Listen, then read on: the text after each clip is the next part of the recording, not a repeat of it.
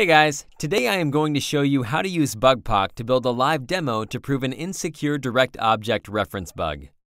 This type of bug usually only takes a single HTTP request to exploit, however, you'll need to know where to insert the dynamic portions of the request. Before BugPoC, that usually means annotating a screenshot of Burp Suite and walking the triager through the steps to get there organically. But with BugPoC, it just takes a few clicks to build the POC and all tooling and setup is taken care of for you. As you can see, I have the target website open in Firefox and Burp Suite open to capture the HTTP traffic. If we fill out this form, we will see the API request and response go through Burp. In this example, the vulnerable endpoint is the API to getProfile, this website apparently uses a custom header called xbwauth as its authentication mechanism, and this endpoint uses the URL parameter UUID to know which profile to get. If we send this request to the burp repeater, we can take a closer look at how this API will respond to malformed parameters.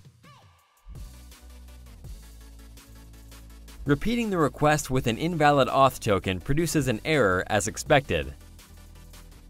This confirms that the API performs authentication correctly.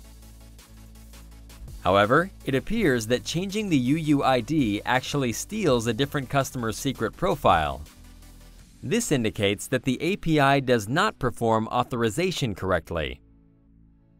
Altering the UUID parameter allowed us to directly reference a different object. Thus, this is indeed an IDOR bug. To turn this bug into a live demo, we just right-click the request and click Send to BugPoC. You can see that BugPoC stores this HTTP request and clicking Test will repeat it from the browser without using Burp. You can think of this editor as an online version of the Burp Suite repeater. To indicate which portions of this request are dynamic, we need to parameterize the UUID and auth token. That's as simple as highlighting them and just clicking the Add Parameter button, which surrounds the highlighted strings with section signs. Next, we enter the variable names and descriptions so the POC viewer will know exactly how to run this demo.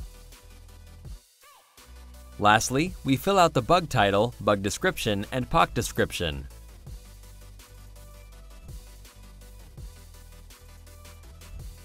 We are now ready to publish this POC so anybody can reproduce it, without any fancy pen testing tools or knowledge of HTTP syntax. We can just include this link in our bug report and not worry about teaching triagers or software developers how to install pen test tools. And just like that, our bug report can contain a live demo. That means you get triaged faster and the issue gets fixed much sooner. Check out our other videos to see other useful BugPoC examples.